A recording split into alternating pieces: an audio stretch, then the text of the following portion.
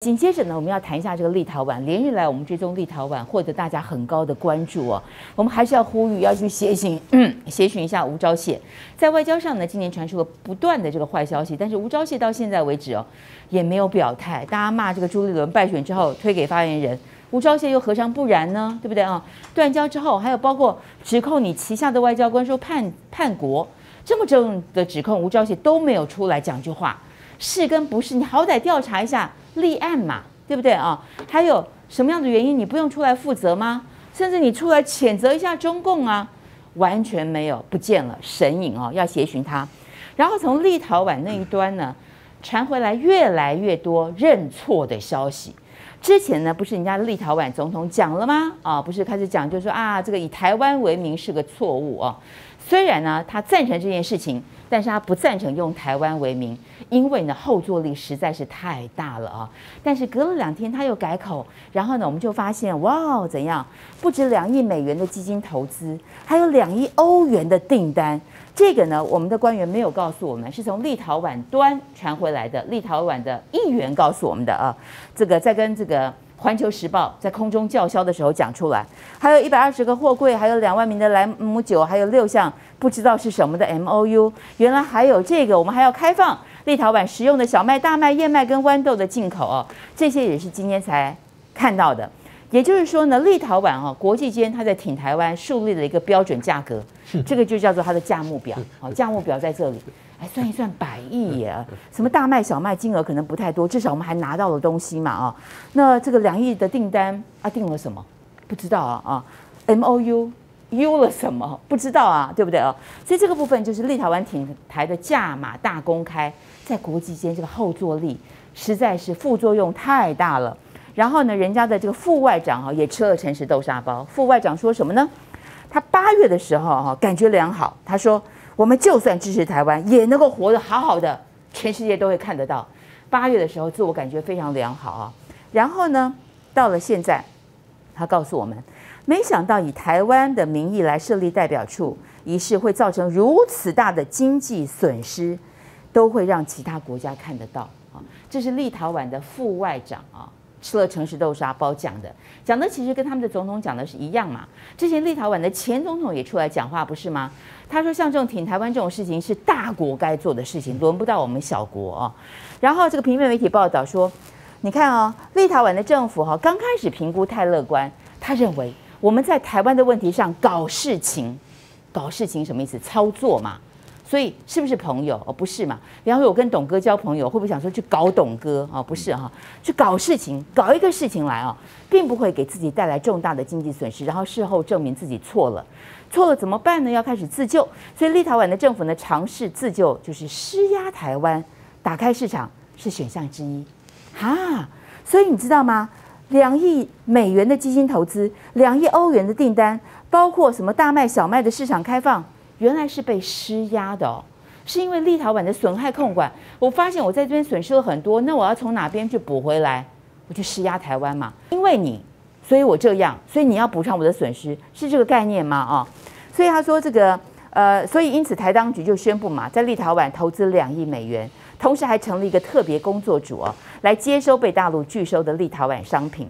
然后，立陶宛的企业也很火大，对此并不乐观，认为台湾在市场规模上很小嘛，根本没有办法跟大陆相比。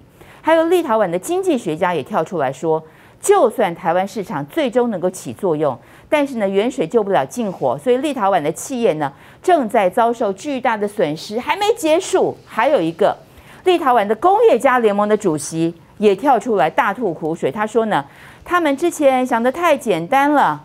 立陶宛政府在涉台问题上的举措，真是害惨了立陶宛的企业。董哥，你看看啊，从这个立陶宛的总统，人家是总统哎啊，登高一呼之后，也不是登高一呼了，讲了这个诚实话之后，副外长、工业家主席、学者、立陶宛的企业等等，通通跳出来讲，大家都知道，原来我们太乐观了啊，这件事情是错误。立陶宛，他当然，我们以现在来结果，就是我们过去所讲，他误判情势嘛。他不了了解说中国大陆会为了这种事情哦，他感到特别的光火。为什么？因为你如果让你一个立陶宛小小的国家这样一开始的话，后面很多国家，立陶宛周边还有苏东坡三小国啊，对不对？拉脱维亚、爱沙尼亚，那大家都有样学样的话，会怎么样？立陶宛对台湾来讲，过去从来不是重要的国家。好，我刚刚讲的东欧这三小国里面，台湾根本连在立陶宛都没有办事处。之前在拉脱维亚嘛。对啊，就你要办啊，要办什么签证，要跑去拉脱维亚去别的国家办，我跟你讲，还不止台湾，连欧洲国家哈，在立陶宛是代表处的都不多，是都不多都不，多因为。它不是很重要。可是他来打这一招，就是说哦，我们来跟你哈、有一个台湾办事处。那台湾，台湾你只要任何一个一个小国家跟你这样，哇，台湾就很兴奋。为什么？又可以做大内宣啊，国际又有谁承认了台湾什么什么，对不对？最有名就是索马利兰。对，索马利亚有几个省 哦，因为叛军占领了，他们自称索马利兰。全世界没有邦交国，对那台湾哇敲锣打鼓，我们跟他互设办事处了。他全世界没有邦交国，你跟你设办事处，你有什么好高兴？太高兴了！今天陈时中还特别讲哦，我们的高端索马利兰也承认了。哦，我听索马索马利兰是索马利亚几个省独立出来，是啊，是，那我们可以看到，我们哦，政府就是因为一直要抗中，然后他把所有国际任何一个国家都可以对你颐指气使。哎，但是对我们，我真的觉得我们在台湾哈，在国际间就闹亏哦。你看看，本来是一件好事，然后人家立陶宛总统认错，认错完之后呢，反正搓搓汤圆嘛，搓一搓哦，人家认错再认错，没有啦，我不是那个意思啦啊，就稍微扭回来。刚扭回来，人家立陶宛的副外长又跳出来讲话，跳出来讲话跟跟放鞭炮一样。经济学家出来讲话，人家公益联盟主席出来讲话，人家企业出来讲话，一个跟跟一个跟放鞭炮一样，每个出来讲话我们就要拿一个东西去抵，对。所以我们就一直一直钱一直下去所以搞啊。了半天，这些都是被施压的，被施压。的啊，总统一讲，我们就两亿美元，美元就进去了，中东欧基金嘛，对不对？对所以各位朋友，你想想看，我们上个月有一个更小的国家，好，跟我们是有邦交国，叫帛琉，人口两万人，帛琉总统呛台湾说，为什么你们华航连班机都不派？十一月没有班机，我们十二月赶快派，好，因为台湾要飞帛琉，好。他任何一个小的国家都可以骂你，然后我们要赶快去赔罪。我觉得最惨的是这个部分哦，因为等于你价目表挂出来啦，哈，这个书会 价目表挂给人家看啊，博流看了以后怎么想？哦，其他有邦就是没有邦交都是这个价目表啊，对这个那有邦交的怎么想？这个价目表只是头期款而已。啊，这头期款哦，头期款呢，说不定只是那个补偿金而已，安慰金而已。嗯因为他现在在叫嘛，说哎呀，我们后悔啦，我们失去了那个订单，那我们就要赶快给他一点安慰金嘛，对不对？那后续呢？一百亿台币，对，后续呢？坦白说哈，我不知道说那个我们的外交部有没有先去查过哦。立陶宛每一年出口到这个中国大陆哦，也不过才四点八亿美金，也就是说它的损失的最大额就大概是五亿美金左右。可是我们现在的补偿感觉离离扣扣加起来可能会超过、哦。那你到底是补偿还是给他斗谈呢？哈，就是他的损失到底有没有那么大？这是一个哦。第二个是呃，我觉得过去呃大陆对立陶宛的采购哦，我相信跟对台湾的采购一样，有很多是所谓的外交采购，就是我为了维持我们的好关系哈、就算我不需要也跟你买。譬如说，他跟立陶宛的采购这一次断掉的，就是像木材或者是奶乳制品、奶水。大家都知道，其实木材大陆自己也很多嘛，啊，那乳制品也不一定要跟立陶宛买。那过去为什么跟立陶宛买，就跟跟台湾买虱目鱼是一样？它其实大陆人不喜欢吃虱目鱼，可是为什么跟我们买？因为要维持好的关系嘛，哈，别做朋友嘛，哈，我跟你买一点东西，但是你现在没有要跟我做朋友了，那我当然就不买啦。所以我们每次都把这个说成这叫报复，这叫施压。可是我们要回过头去，一开始为什么会有这些贸易？一开始就来自于说没跟你做朋友哈，所以跟你给干买一寡，可能我不需要。那你都跟人家讲说我不会跟你做朋友啊，啊，人家当然就不买啦。你不能够说，我一方面没有要跟你做朋友，一方面你又要继续跟我买东西。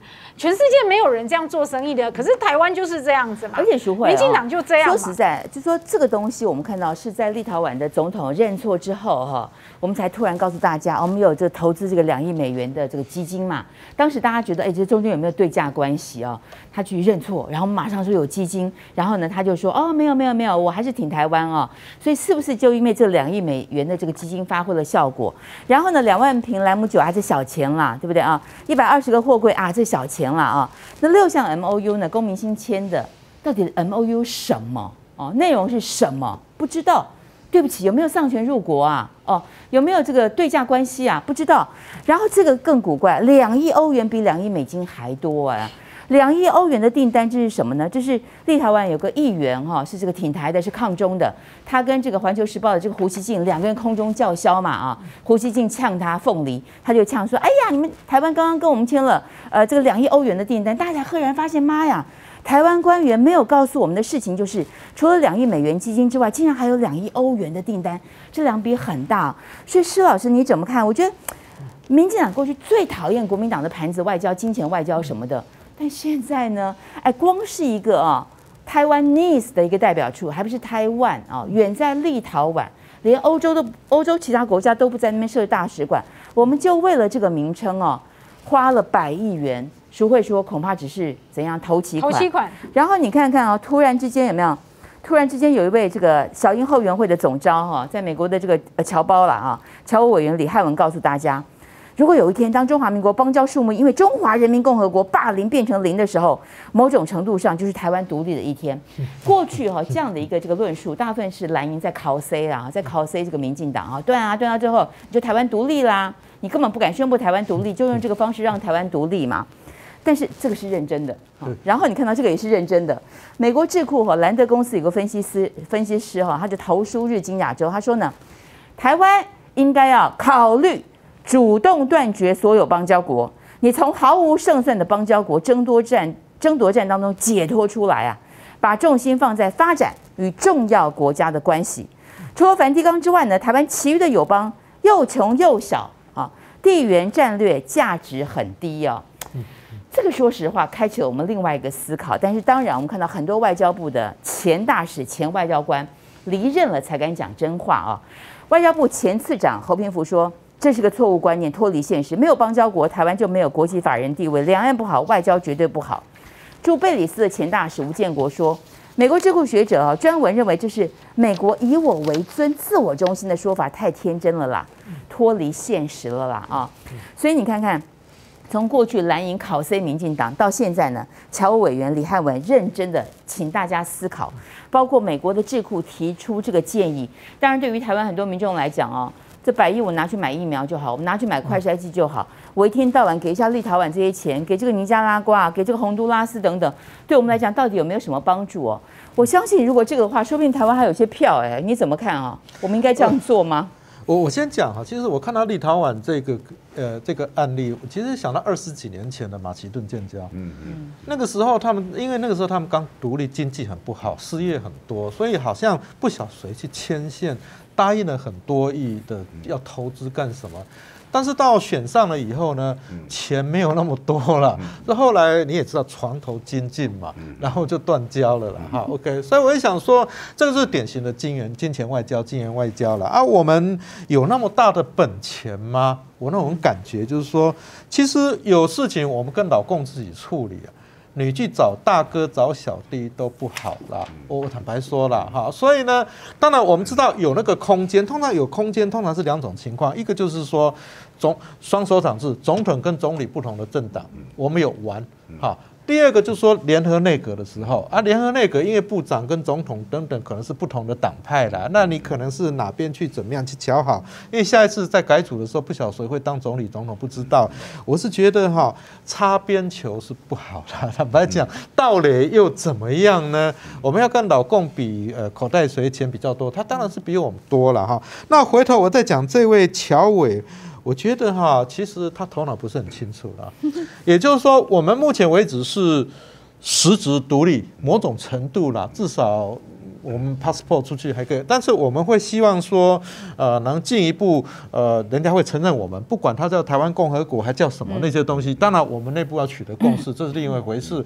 但是你这边是没有，然后呢，呃，自动把它降低到零，那是什么意思啊？你这边不能。成长，然后这边没有没有是自己自断一只左手或左脚，这完全是不合理哈所。以这个智库的讲法是说，你把所有的邦交国其他你自己断掉，然后所有钱都给美国是吧？没有，我不晓得。然后你看那个美国智库，我也觉得是很扯的。那你是要把台湾变成五十一州，还是变成关岛，还是变夏威夷呢？也不可。不，我必须提醒，因为我最近看了一些智库写的那些东西啦，我觉得他们对台湾完全不懂，他们基本上就有外籍兵团的一四五零。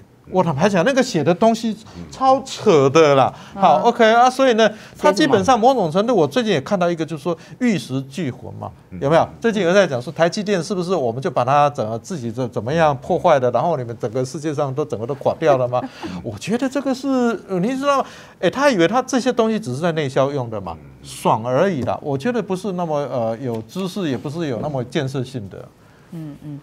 好，我觉得很奇怪哈。刚刚我们制作人跟我讲啊，说我们的这个流量呢，在子屏部分刚刚是一万七，但是碰到一万七之后，咻一下瞬间跳到一万五哈，这是怎样哈？不知道，很奇怪啊，是被民主了吗？啊，当然不晓得。呃，所以还是请大家啊，我觉得这个嗯，突破很多限制，突破台湾言论自由的封锁，我觉得唯一的方法是我们大家用微小的力量啊，像种子一样。把这些声音呢散播出去，所以我再次呼吁大家：第一个帮我们按赞啊，那第二个呢帮我们冲流量，还有帮我们把它分享出去。好，我想我这个还是请教一下董哥哦，所以你怎么看？我觉得立陶宛这个事情哦，真的是大家外交上的一个负面教材。之前这个谢文吉谢大使到我们这个节目当中，他说无论如何啊，光是两亿美元的基金要来开馆这个价格，他一辈子的外交官生涯当中呢，他觉得这个价码实在是太高了，高到。瞠目结舌，此例一开，后患无穷啊！果然，你包括这个立陶宛啊，你现在这是他的副外长啊，外交部的副部长，他还是执政党。那还有包括立陶宛的很多在野党也跳起来。说实话，人家在野党会不会想到哦，这么大一笔钱哦，这么好拿啊？执政党拿到啊，我外我我在野党呢，我下次要选举，我也需要钱呐啊！所以你看，现在在野党全部开始反对。然后呢，他们的这个经济学家开始反对等等，我觉得这个东西真的是后患无穷。我们台湾在外交上真的开了一个恶例哦。然后吴钊燮呢，其实哦，你可以看到立陶宛它的损害还没有截止，因为它啊在那边投资最主要的国家是德国嘛，哦，那我们也知道德国的马牌最近被告知，就是说你如果用的是立陶宛的零件或怎么样的话，你进入中国大陆可能就会有问题，所以哦很多国家他发现说我们在受到牵连了。那受到牵连就是立陶宛，他的势力不周，他误判情势，他认为说我可以哦玩这种擦边球。那我们也知道，美国跟欧盟哈，这他们最近对中国大陆有一些抵制啊，哦要抵制人家的啊新疆棉，或者哈对人家新疆啊那些指指点点。那他们也其实也在联合国表决过，其实是大败啊，只是台湾的媒体不会去报道这一部分啊。那我们可以看到，就是说。如果以这样的局势来讲，美国跟欧盟都一直告告诉立陶宛我们会挺你，他们都出嘴巴了，哦，那这个最后的压力、财务的损失啊，然后这些订单的流失，都从谁身上去获得呢？从台湾，变成最后台湾其实最大的受害国，哦，因为美国跟欧盟出嘴巴，并没有实质上出什么，那立陶宛就哀哀叫啊。哀叫我们想说，这是一个我们好不容易在东欧开出了一个窗口，这个窗口让台湾好像丢掉了八个邦交国，然后哦，我们好像可以哦挽回一小城哦，所以我们把很多精力投资在这里。